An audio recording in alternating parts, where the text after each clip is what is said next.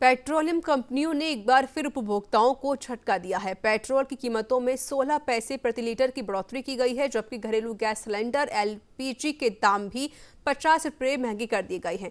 और वहीं बात करें राजधानी जयपुर की तो जहाँ साधारण पेट्रोल करीब नब्बे रुपये और हाई स्पीड पेट्रोल करीब चौरानवे रुपये प्रति लीटर बिक रहा है, जबकि गैस सिलेंडर भी पाँच सौ रुपये की बजाय 648 का हो गया है। पिछले वर्ष की तुलना में घरेलू गैस सिलेंडर करीब सौ रुपये महँगा हो गया है। और वहीं पेट्रोल की बात करें तो यह भी आए दिन 16 पैसे से लेकर एक रुपये तक घटता बढ़ता रहता है। आपको बता दें कि कोविड के काल के दौरान पेट्रोलियम कंपनियाँ स्वायत्तता की आड़ में मुनाफाखोरी का ज़रिया बना रही हैं, जबकि अंतर्राष्ट्रीय बाज़ार में पेट्रोलियम कीमतें घटी हैं।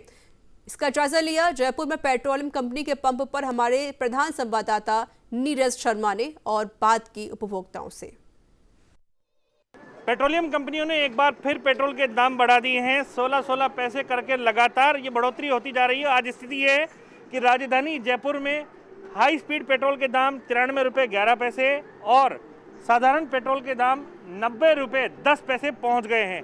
जो कि आम व्यक्ति के, जो नौकरी पेशा व्यक्ति है, काम धंधे वाला व्यक्ति है, उसके लिए कहीं ना कहीं मासिक उसका जो बजट है, उसके ऊपर एक बड़ा इफ़ेक्ट डाल रहा है। क्योंकि धीरे धीरे होती हुई ये बढ़ोतरी जो है, मीठे जहर की तरह है, जो पता नहीं लग रही, लेकिन पेट्रोल जो है काफ़ी महँगा हो गया। करीब साढ़े चार सौ रुपये के अंदर, पाँच लीटर के आसपास ही पेट्रोल गाड़ी के अंदर आ पा रहा है। कुछ ग्राहक हैं जो कि पेट्रोल भराने के लिए आए जनाब, क्या नाम है आपका? मेरा नाम बन्ने खान सर। ये कितना असर पड़ रहा है पेट्रोलियम की? साहब बहुत ज़्यादा असर पड़ रहा है। सारा जो है बजट गड़बड़ा गया क्या समझे? गरीब आदमी तो कुछ कर ही नहीं सकता। तो पैदल चलने के लिए मजबूर हो गया क्या किया जाए? क्या बहुत पर बहुत ना पहले आप किस ज़माने से पेट्रोल डला रहे हैं? पहले क्या रेट होती थी आज क्या रेट होगी जी साहब हमने जब पेट्रोल डलाया उस टाइम पे ढाई रुपये लीटर था। अब आप आसमान छू रही कीमत। हाँ तो बढ़ाने नहीं चाहिए ना वो तो कम तो और होना चाहिए और ज़्यादा होना नहीं चाहिए क्योंकि अब महँगाई वैसे ही बहुत ज़्यादा हो घर में कितने सिलेंडर हैं होंगे सब मेंबर के साथ है मतलब पंद्रह आदमी है एक एक एक तो है तीन चार तो है। तो कितना असर पड़ेगा जब ये लगातार बढ़ोतरी होती जाएगी? अभी कितने का आ रहा है सिलेंडर अभी तो छह सौ रुपये का आ रहा। पचास रुपये और बढ़ा दी। पहले से कम आता था बढ़ा दिए पैसे। महँगाई महँगाई बढ़ रही है घट रही है? बढ़ रही है महँगाई कहाँ घट रही सब? महँगाई तो बढ़ रही है दिन पे दिन।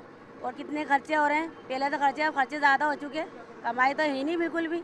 औरत भी कितनी परेशान है आज के दस रुपये में तो कराए बिना बैठे रहे औरत। पैदल कहाँ से कहाँ तक जाएगी? परेशान तो है ही ना सब। कमज़ोर कर रहे हैं कि भाई कंट्रोल में रहने का। ये कोरोना लॉकडाउन के टाइम में कमाई बढ़ी है घटी है? देखो साहब हमारी तो जो ऑन ड्यूटी में है सेम चल रही है अभी एट परसेंट मगर बाकी महँगाई देखते हुए तो कंट्रोल कर रहे हैं। कंट्रोल होना चाहिए कहीं ना कहीं तेल की। जी। तो निश्चित रूप से हर वर्ग के ऊपर इसका असर पड़ रहा है। आम और खास सभी वर्ग जो हैं कहीं ना कहीं प्रभावित हो रहे हैं। पेट्रोलियम कंपनियों को स्वच्छंद किया गया या स्वतंत्र किया गया, उसका अर्थ ये नहीं था कि मनमानी वसूली जो है, वो आम उपभोक्ता के साथ करने लग जाए। कोरोना का ये काल चल रहा है। ऐसे में वक्त की नज़ाकत ये कहती है कि कुछ रियायत या रिबेट आम जनता को मिलनी चाहिए थी। लेकिन हो इसका उल्टा रहा है। जो लोग अपने काम धंधे के लिए निकल रहे हैं, उसमें कोरोना वॉरियर्स भी शामिल हैं, आम लोग भी शामिल हैं। रोज़गार की चाह के अंदर जो लोग घर से निकल रहे हैं उसको एक बड़ी कीमत इस सड़क के सफ़र में चुकानी पड़ रही है। कैमरामैन केदार शर्मा के साथ नीरज शर्मा, न्यूज़ इंडिया, जयपुर।